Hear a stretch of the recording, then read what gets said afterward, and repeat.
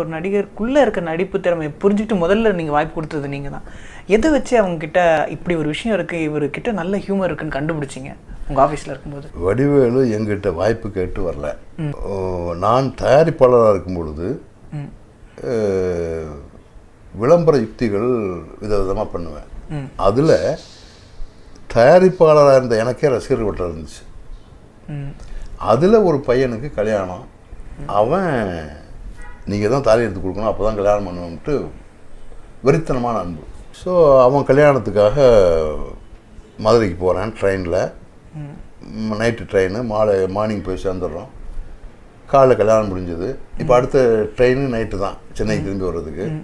So whole day நான் சும்மா இருக்கணும். அந்த பையன் என்ன சொல்கிறான் சார் என் ஃப்ரெண்டு ஒருத்தன் இருக்கான். உங்கள் பொழுதுபோக்குக்கு ஏதாவது பேசிக்கிட்டு இருப்பான் அவங்க கூட. அவனை துணைக்கு அனுப்பிச்சி வைக்கிறேன். நீங்கள் தனியாக உட்காந்து ஹோட்டலில் போர் அடிச்சு போவோம். அப்படின்னு அனுப்பிச்சி வைக்கிறான். அப்படி வர்ற பையன் தான் அந்த வடிவேல். அவன் சார் நாங்கள் எங்கள் தெருவில் முனிச்சாளர் ரோட்டில் இப்படி பேணுப்போம் இப்படி பண்ணுவோம் இப்படி லந்து பண்ணுவோம் இப்படி கலாய்ப்போம் அது செய்வோம் உணவு சொல்லி காட்டிட்டு இருக்கேன். நான் ரசிச்சுக்கிட்டே சிரிச்சுக்கிட்டே இருக்கேன். இப்போ அவனும் என்கிட்ட சினிமாவில் நடிக்கிறதுக்கு வாய்ப்பு கேட்கல. எனக்கு அந்த சிந்தனை இல்லை. Only just pass the time அதுக்காக அவன் ஃப்ரெண்டு அனுப்பவன் தான் இவன். இதுக்கு அப்புறம் பார்த்தா ஒரு ஒரு ரெண்டு வருஷம் கழிச்சு இதுக்கு அந்த சம்பவம்லாம் நடந்து ரெண்டு மூணு வருஷம் கழிச்சு ராசாயன் மனசில் படம் நான் பண்ண போகிறேன். அதில் ஒரு சின்ன ஒரு ஒரு ஒரு ரெண்டு சீன் வர்ற மாதிரி. ஒரு கேரக்டர் இருக்குது இது யார் போடலாம் புதுசாக போடலாமே அப்படின்னு யோசிச்சுட்டு இருக்கும்போது டப்புன்னு எனக்கு இவன் ஞாபகம் வருது. ஒரு ரெண்டு மூணு வருஷத்துக்கு முன்னாடி மதுரையில் ஒரு பயலை பார்த்தோமே. இப்படிலாம் பண்ணானே அப்படின்னு. இப்போ அவனை எப்படி கண்டுபிடிக்கிறதுனா அந்த இவனை அறிமுகப்படுத்தினானே. அந்த மாப்பிள்ளை அந்த பையன் பேர் இளங்கோ. அந்த பையன் எனக்கு கடிதங்கள் எழுதும் போதெல்லாம் அந்த இல்ல லெட்டரில் எழுதுவான். பின்னாடி அவன் பேர் சீல் ஃபோன் நம்பர் குத்திருப்பான் ம். இப்போ சா அப்போ அந்த காலத்தில் எல்லாம் கடிதங்கள் தானே. அப்போ கடிதங்கள்லாம் சாதாரணமாக எல்லாரும் ஃப்ரம் அட்ரஸ் போட்டுடுவாங்க. இவன் மட்டும் தனியாக ஒரு சீல் வச்சு டெலிஃபோன் நம்பரோட வச்சுருப்பான்.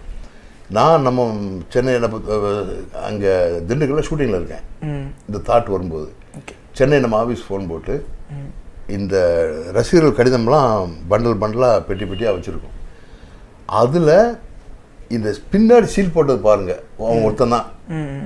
அவன் நம்பர் எடுங்க.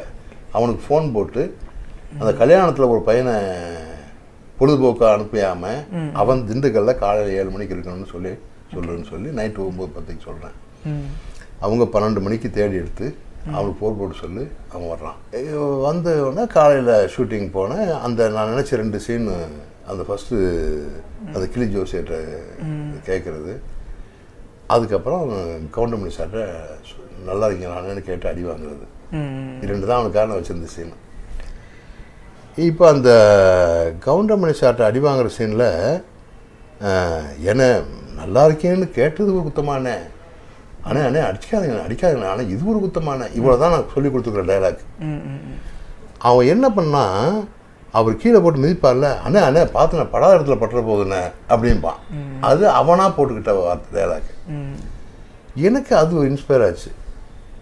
பரவாயில்லையே அவனே ஒரு இடம் போட்டுக்கிட்டா நல்லா இருக்கு ரசிக்கும்படியாக இருக்கு ஸோ க்ரியேட்டிவாக இருக்கானே அப்படின்னு சொல்லிட்டு அப்போ நீ சீன் முடிஞ்ச உடனே அப்போ நான் புறப்படுனா ரொம்ப நன்றிண்ணேன்னு ஒன்று சொல்ல வந்தான்.